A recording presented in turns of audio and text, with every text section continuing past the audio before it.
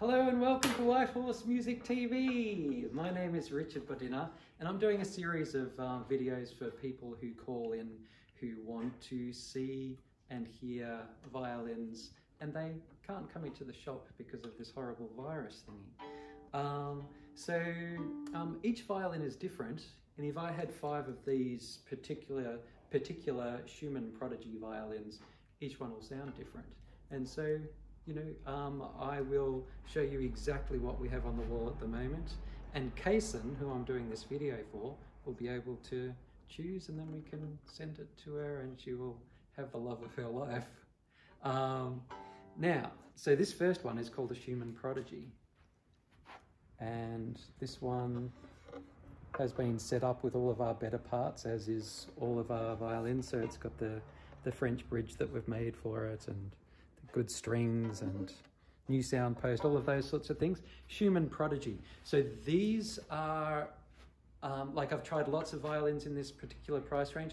As of this video, this one costs $420 in our shop, including all of those better parts. I'll give it a bit of a play and then I'll compare the other ones that we have over there. All right, first violin with a wound up bow. Now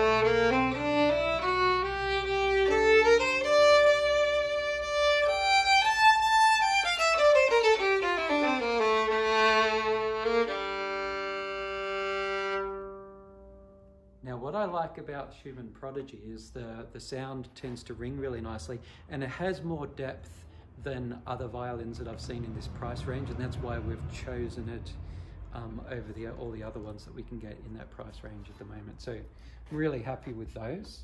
Next up we have this one called a Gliga Saint Romani 2.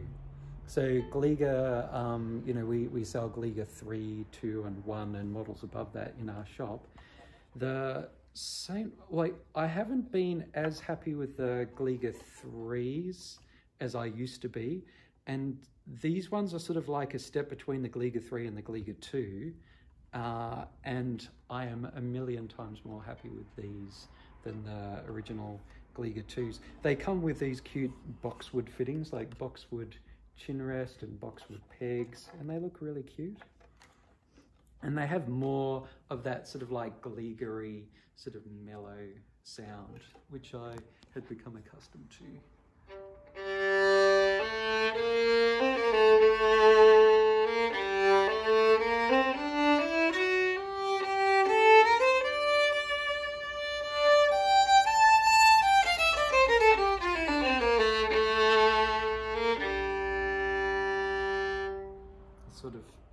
Softer and uh, more mellow and sweet sounding.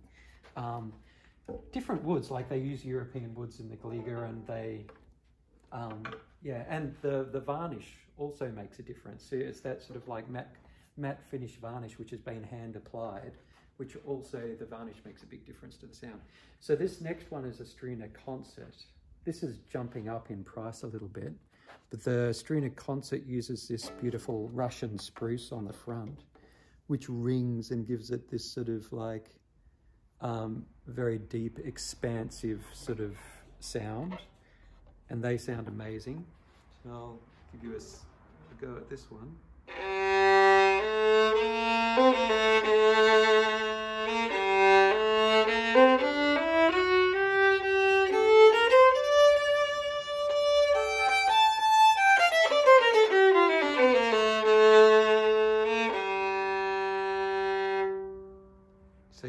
Can straight away hear that extra depth in the bottom.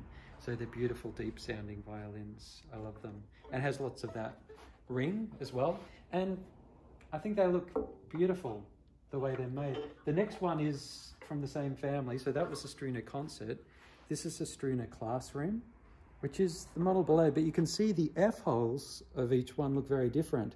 So this one, the Struna Classroom, has a, it's a a copy of a Guarneri violin has much more sort of elongated F holes, where the um, the Struna Concert that we have at the moment is a copy of a Stradivarius, and so very different sort of look.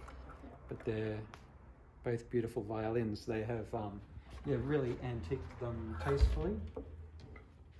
So I'll play this uh, Struna Classroom.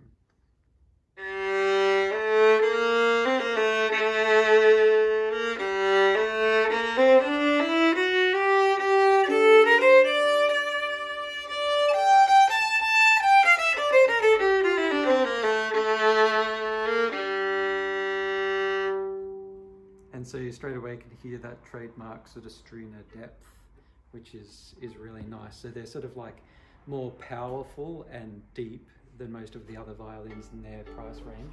So now what I'll do is play each of them in a row without you having to listen to my voice, my, my mouth moving, and then you'll get a better idea of how they compare to each other. So I'll play exactly the same thing on each one.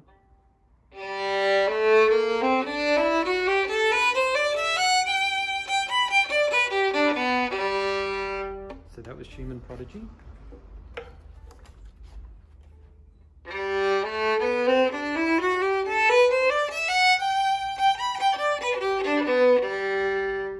That was um, Gliga Saint Romani 2.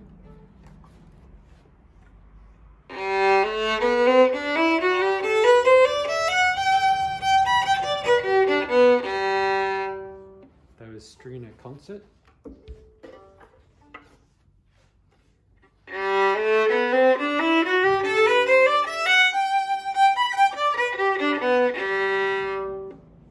That was Struna Classroom. I recommend buying all of them. No, that's all I'm going to say. Buy all of them, definitely.